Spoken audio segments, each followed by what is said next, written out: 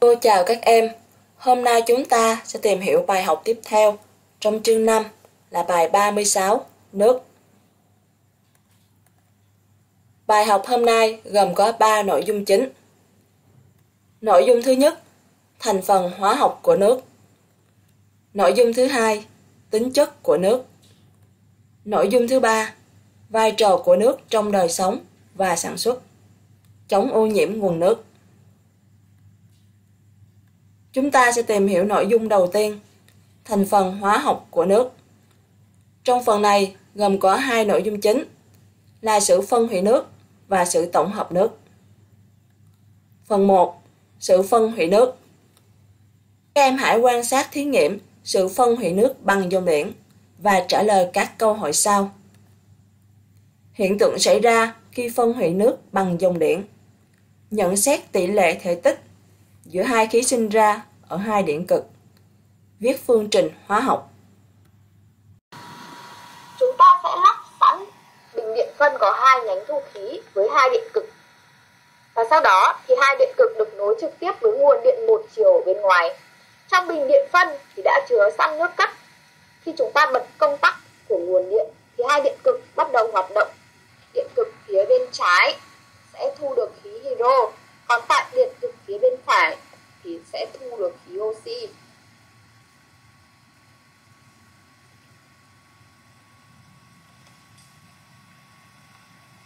Và các em có thể thấy là thể tích khí hydro thu được gấp đôi khí oxy, đúng không nào?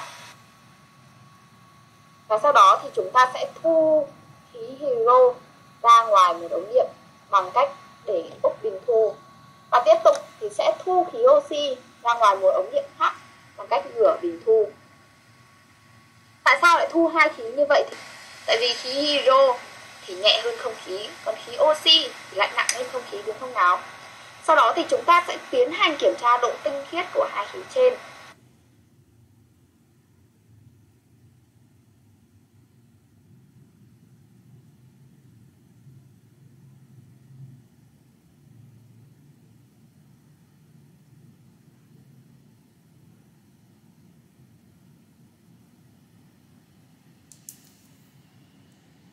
Quan sát thí nghiệm trên, ta thấy khi cho dòng điện một chiều đi qua nước, trên bề mặt hai điện cực sẽ sinh ra khí hydro và khí oxy.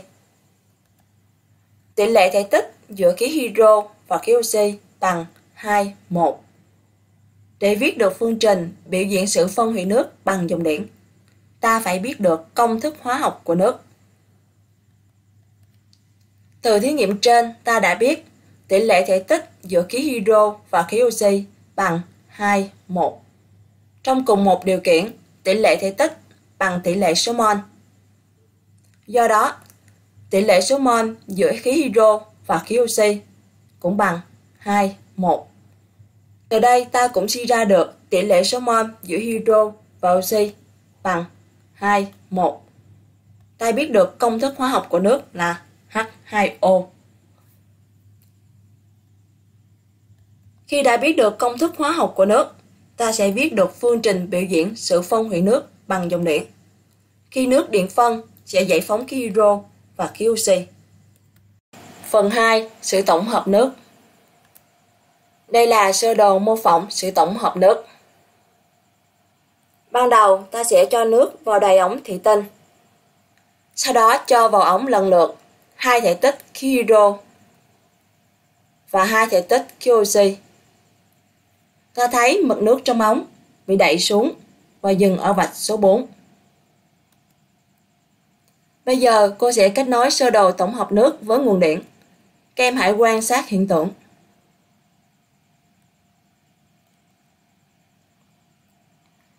Ta thấy khi kết nối sơ đồ với nguồn điện, mực nước trong ống dâng lên và dừng ở vạch số 1. Phần ở trên ống là một khí nào đó và chiếm một phần thể tích.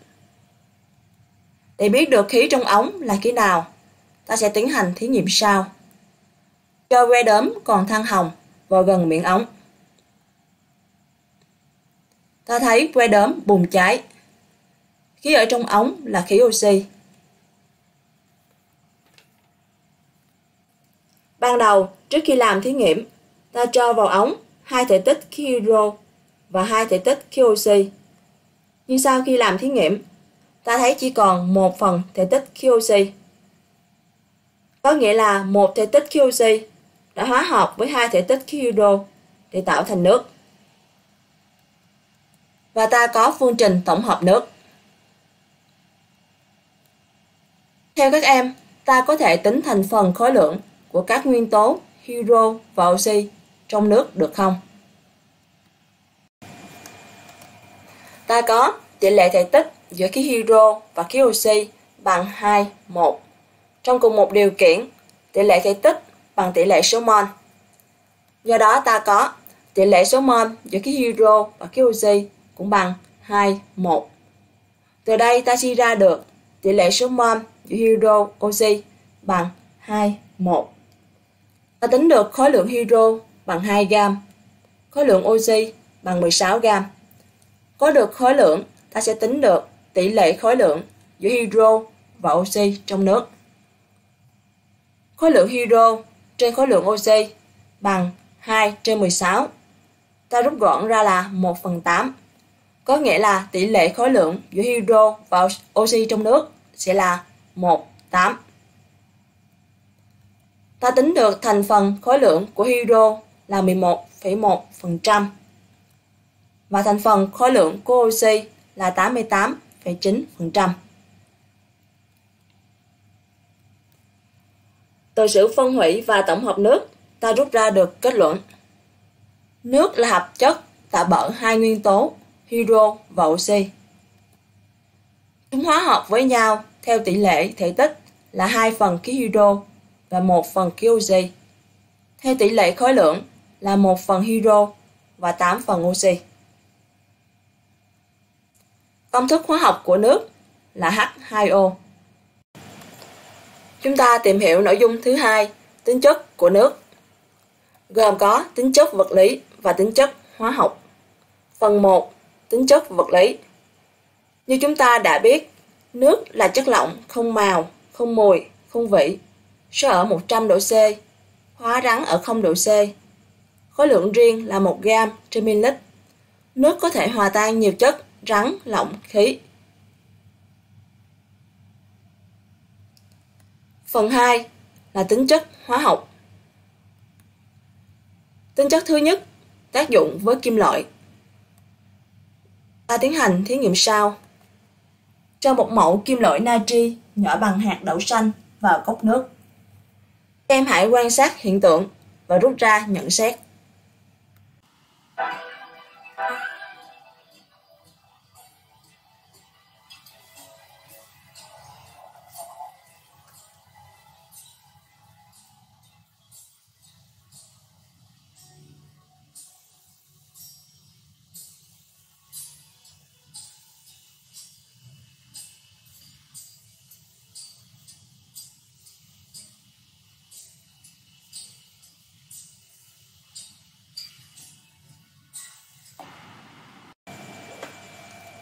Quan sát thí nghiệm trên, ta thấy natri nóng chảy thành giọt tròn, có màu trắng, chuyển động nhanh trên mặt nước.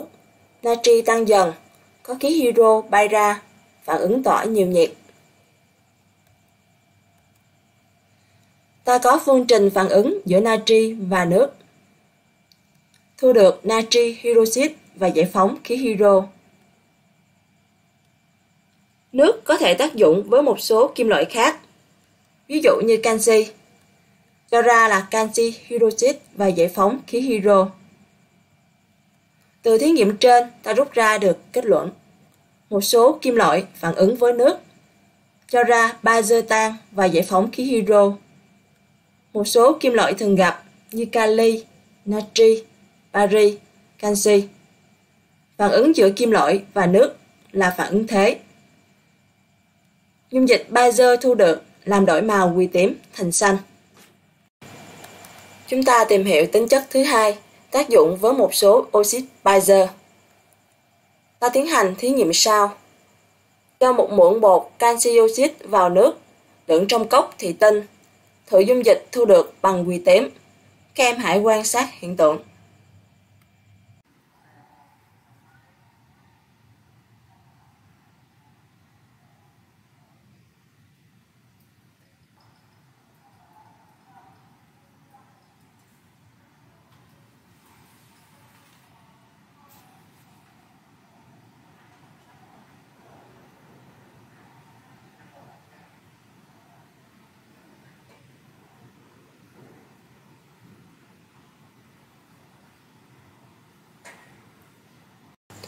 Quan sát hiện tượng thí nghiệm, ta thấy canxi rắn chuyển thành chất nhão, phản ứng tỏa nhiều nhiệt, dung dịch nước voi làm đổi màu quỳ tím thành xanh. Ta có phương trình phản ứng giữa canxi và nước, thu được canxi hydroxit.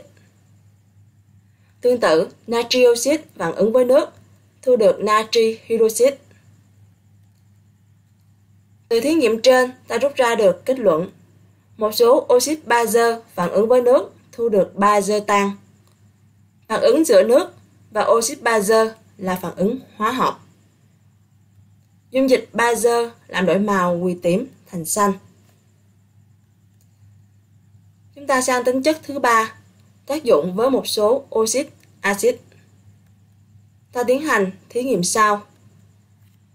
Lấy một ít phốt pho đốt cháy ngoài không khí, cho vào lọ thủy tinh chứa khí oxy. Sau đó rót một ít nước vào lọ, đậy nắp lại và lắc đều. Thử dung dịch thu được bằng quỳ tím. Các em hãy quan sát hiện tượng và rút ra nhận xét. Diphosphor pentaoxit tác dụng với nước. Đốt cháy phốt pho đỏ trong môi sắt trên ngọn lửa đèn cồn. Quan sát hiện tượng phốt pho đỏ cháy trong không khí. Đưa môi sắt chứa phốt pho đang cháy vào lọ chứa oxy. Quan sát hiện tượng và so sánh với khi phốt pho cháy ngoài không khí.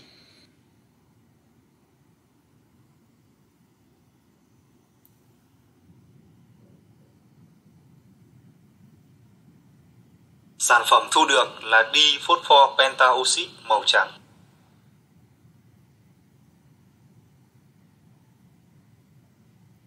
Sau một thời gian, đưa muôi sắt ra khỏi lọ, cho vào lọ một ít nước cất.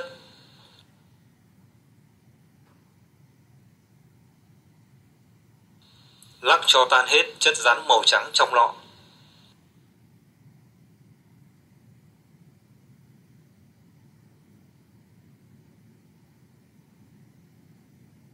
Cho vào lọ một màu giấy quỳ tím. Giấy quỳ sẽ chuyển sang màu gì?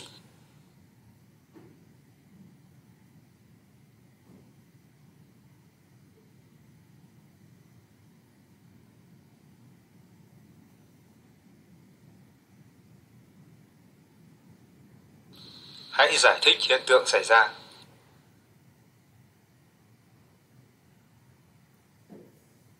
Quan sát thí nghiệm ta thấy khi đốt phốt pho trong khí oxy sinh ra chất rắn màu trắng. Chất rắn màu trắng là P2O5, tên gọi là diphosphor pentaoxide.